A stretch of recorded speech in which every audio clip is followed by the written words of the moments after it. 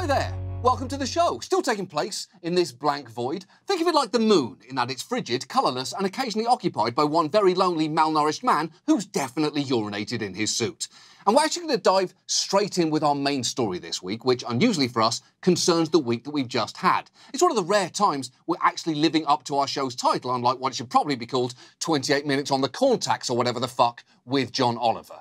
And the reason we're doing that is that this has been one hell of a week. So tonight, we're going to talk about two things in particular the Republican National Convention and the horrific events in Kenosha, Wisconsin, where Jacob Blake was repeatedly shot in the back by police and a vigilante killed two people. And we'll talk more about Kenosha in a bit, but let's start with the RNC, an event to celebrate the stewardship of Donald Trump, a tough sell at the best of times, but something that felt particularly out of step this week, considering we have a pandemic on the rampage, an economic catastrophe unfolding, and wildfires and hurricanes battering the country, all of which made it a little jarring that the Republicans' opening argument seemed to essentially be this. Ladies and gentlemen, leaders and fighters for freedom and liberty and the American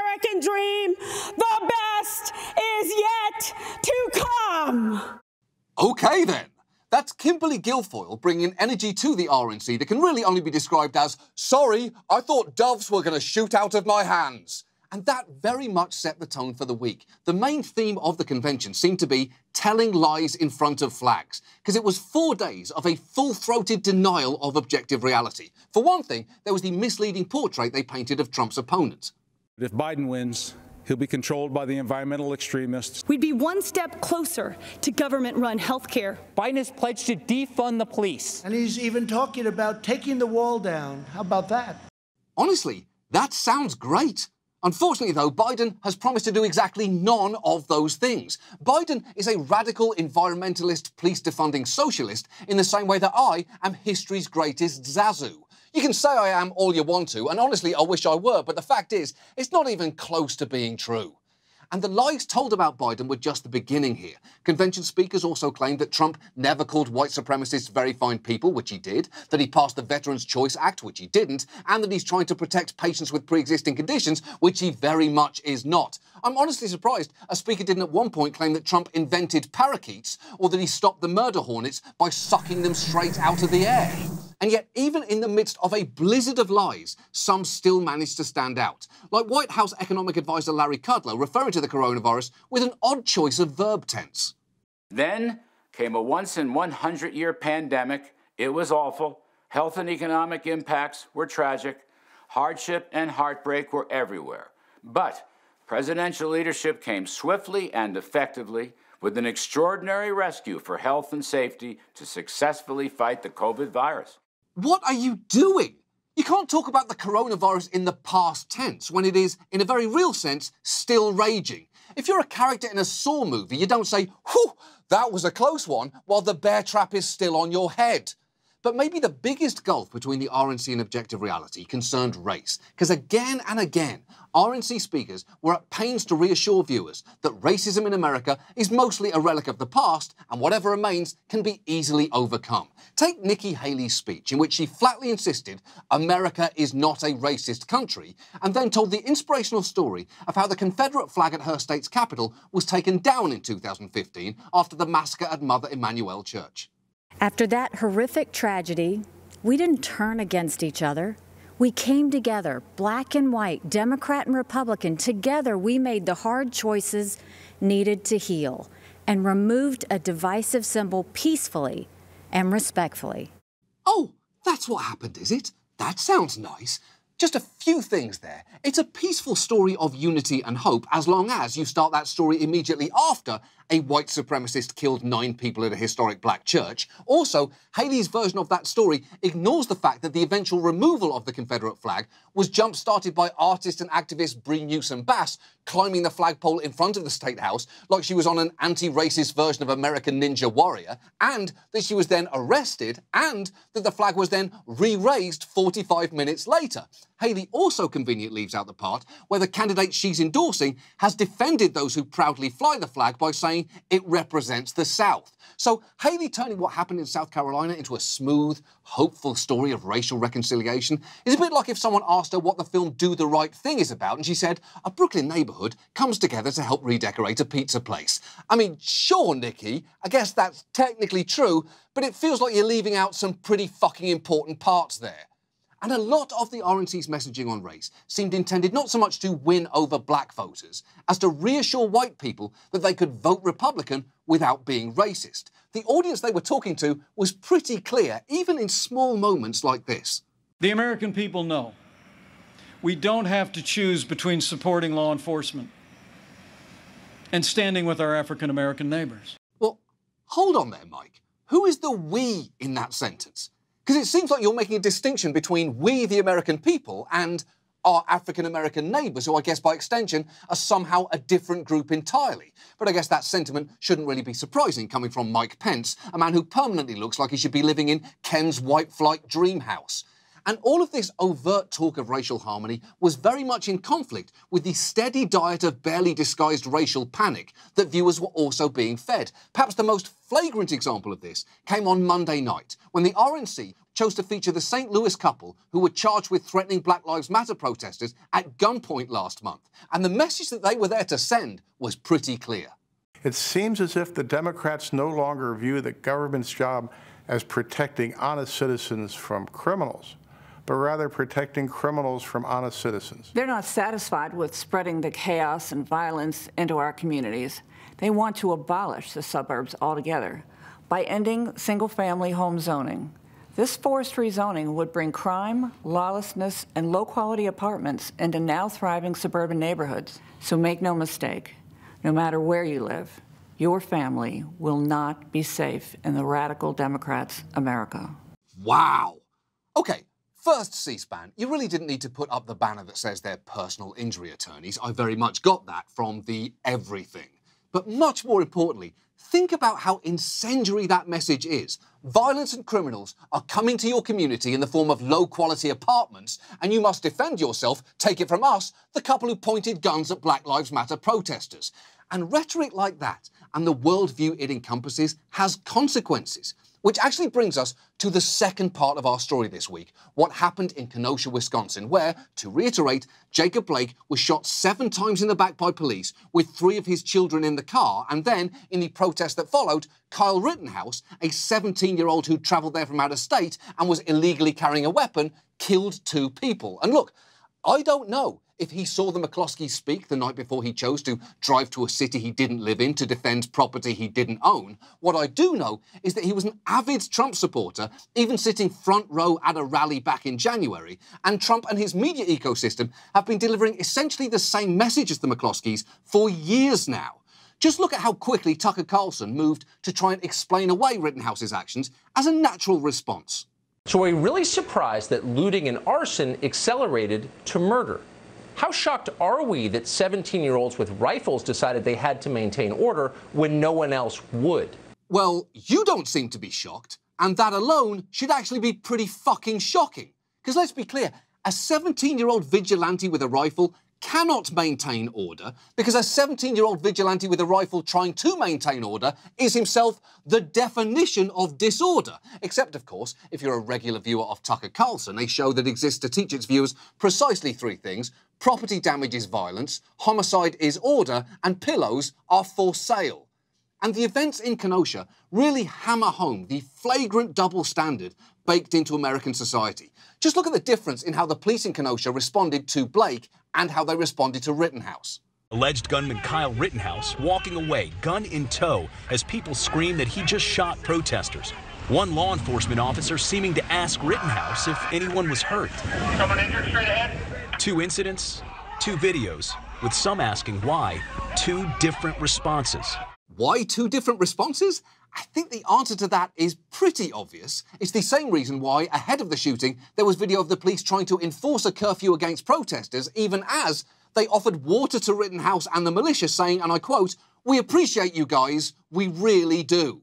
And if you're looking for a better visual illustration of the differences between being black and white in America, I don't think you're going to find one, except maybe for seeing exactly who sits down and who stands up when Cotton Eye Joe comes on at a wedding.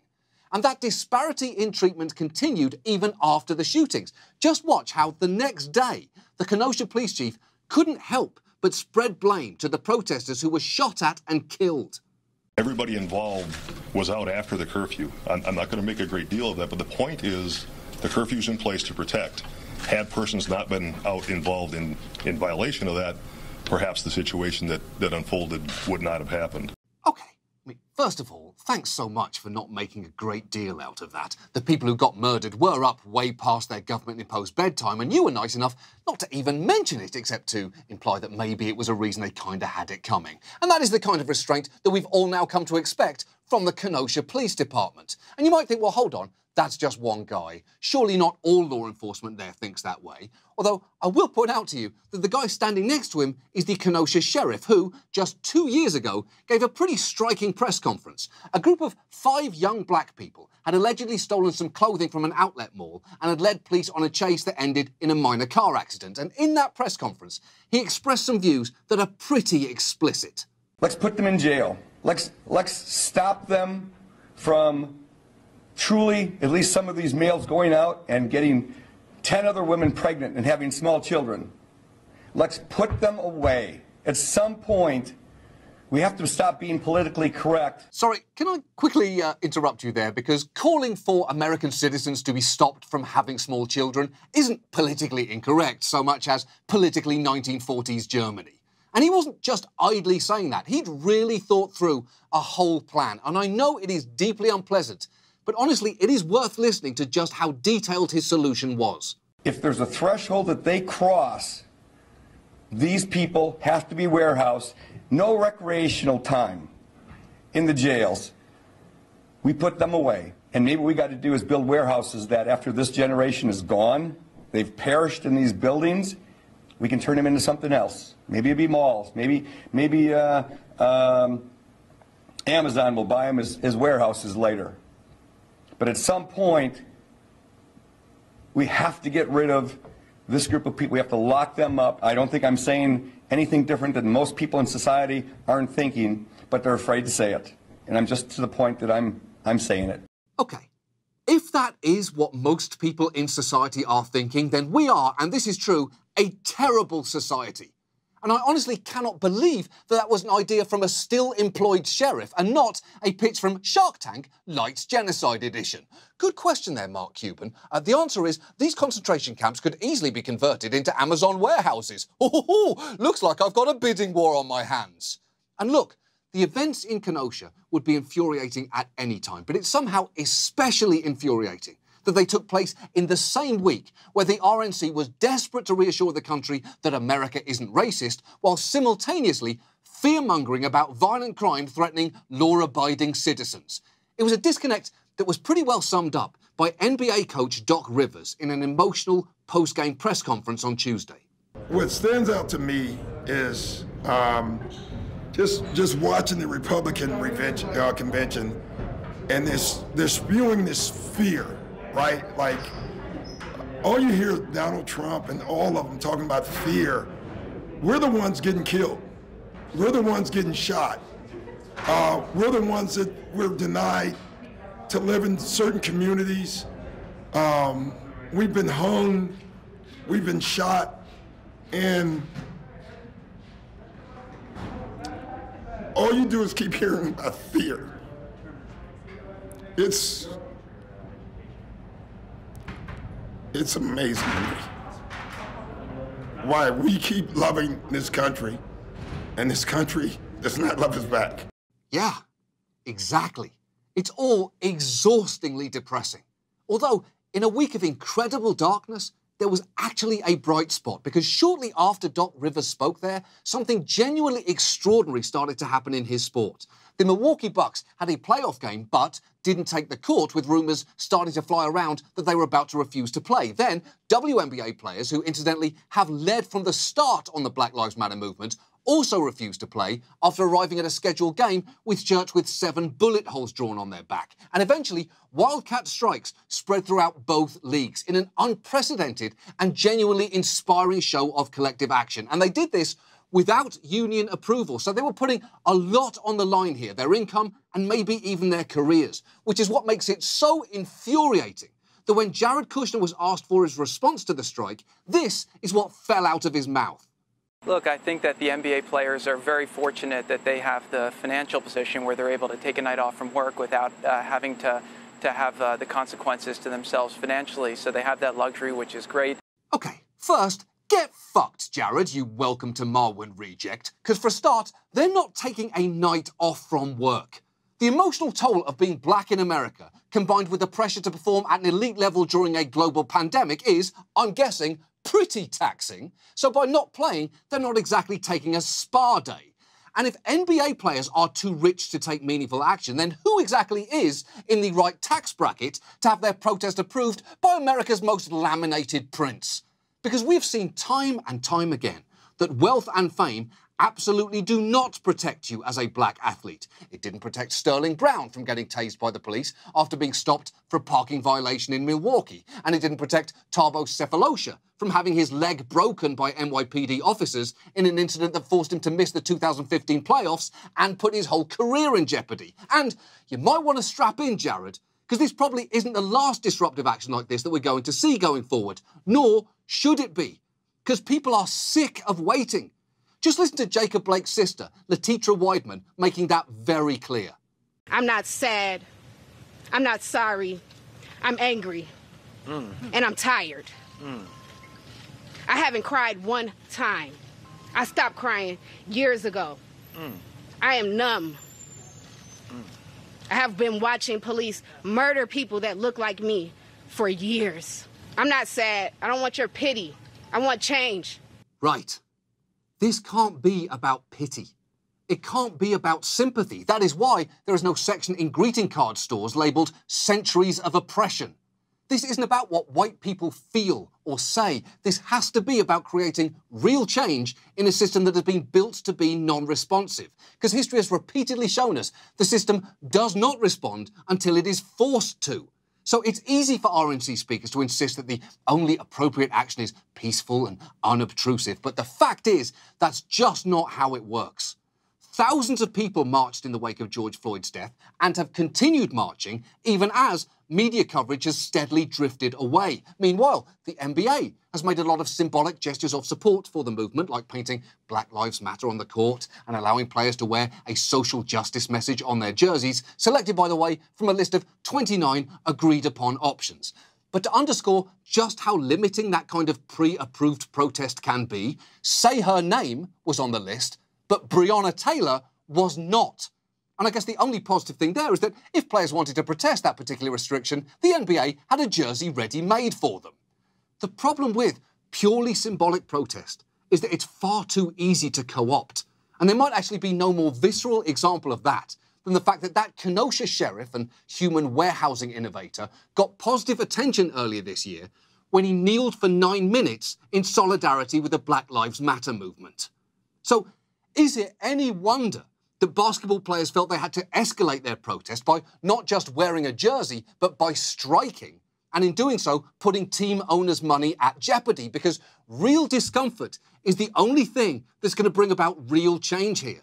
And it's worth noting that already the strike has had some effect. Not only did it spread to other sports and other athletes, but the NBA players now have a promise from owners to convert as many of their arenas as possible into polling places this November, which is great.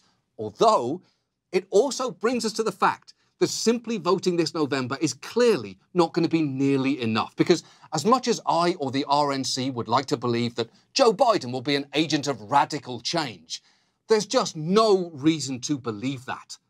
To the extent that real change is possible through the ballot box this year, it will only be if Biden is elected alongside progressive candidates all the way down the ballot, from the Senate to state legislatures to city councils to sheriffs. And even that will be very much a beginning and not an end. None of this is easy, but it has to begin and now.